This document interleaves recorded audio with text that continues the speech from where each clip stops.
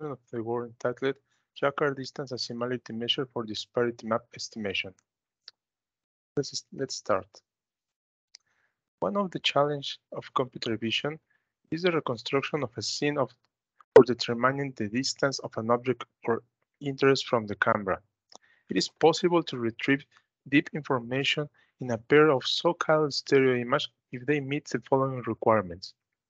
They are horizontally, horizontally or vertically aligned. We know the resolution, distance between the lenses, and focal length of each lens. And at last but not least important, we are able to obtain the position of a point in both images. This is a key concept for disparity map estimation. The disparity is the relative difference between the position of both the left and right image for a given point of interest. In one of the images of a stereo pair, a point is located and in the other image, its position is determined by comparing multiple observations within a previously defined range, which is known as the disparity range. Once the position of the same point in the other image is found, we determine, we determine the horizontal difference between both positions. This difference is a disparity value.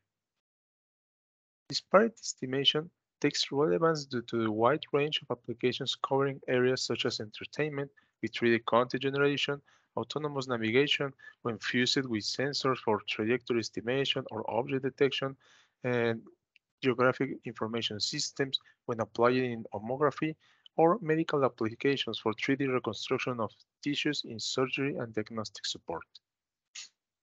Or proposed methods. Within the related works, uh, well, first, with related works, there is a wide range of proposals to generate disparity maps, where we can group them accordingly to the type of disparity map generated, like sparse and dense.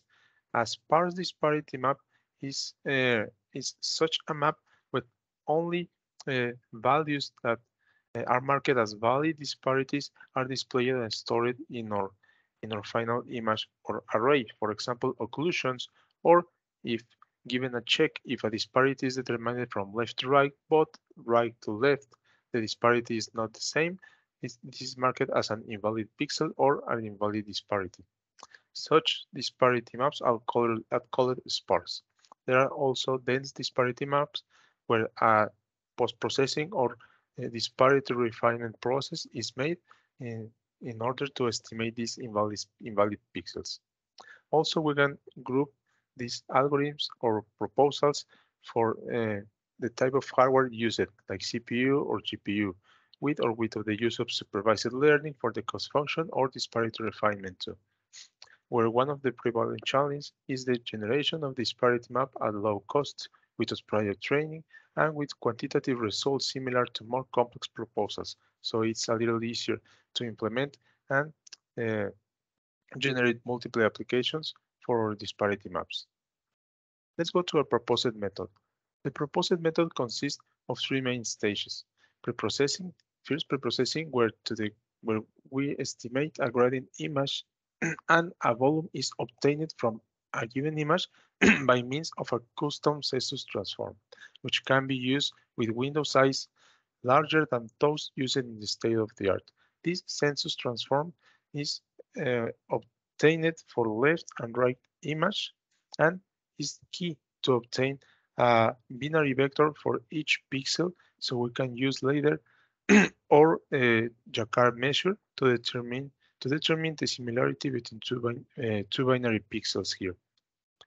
Then after stereo matching using the Jaccard similarity measures, uh, we perform a quick post-processing stage. This consists of two steps, a match check, only to, to check if left to right is the same value estimated from right to left, and a second step, uh, disparity, uh, disparity local check, just to compare with a with a local neighborhood if uh, our disparity estimation is not an outlier and smooth a little a little the uh, the disparity the disparity estimation. At the end, we get we got a sparse disparity map that should be uh, easier to generate a lens disparity map with uh, more valid pixels than state-of-the-art methods, but with lower percentage of bad uh, bad matching pixels. So it should be, or, or, or hypothesis is that this uh, sparse disparity map should be better than the state of the art obtained with another results. In our experimental results to determine the performance of a proposal, two ground truth datasets were used to quantitatively determine the percentage of uh, misestimated pixels for a stereo pair. These datasets are the Middlebury, ster Middlebury stereo dataset and KITTI stereo dataset, focused on the autonomous navigation problem. For experimental results in the graph, uh, this contains the percentage of poorly related pixels for a stereo pair for Middlebury dataset. We can observe the result of our proposal here, as well as the result of state-of-the-art process, for example, R200 High, that is such a highly optimized algorithm for embedded systems currently uh, commercialized, while SGBM is one of the most popular ones and uh, given is the most common in developing libraries for uh, machine vision and um, computer vision applications like OpenCV. We can appreciate our proposal is able to deliver a reliable and consistent results for disparity uh, for disparity maps and with a, a, a low threshold, a low a low percentage of match, matching pixels. In addition, uh, we show a table here to compare with methods capable of delivering a dense disparity map. For this dense disparity map state-of-the-art methods, uh, most of them are, are done in a supervised, uh, supervised learning uh, method or environment.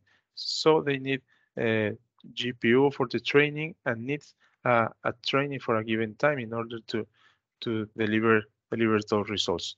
Obviously, these results are better with a lower percentage of bad, bad matching pixels, but our results are visually similar uh, to those given that uh, given or or taking into consideration that our method is uh, not supervised at no at, not using GPU at all. It can be used GPU, but just to gain a lower processing time, but not to to perform a training there.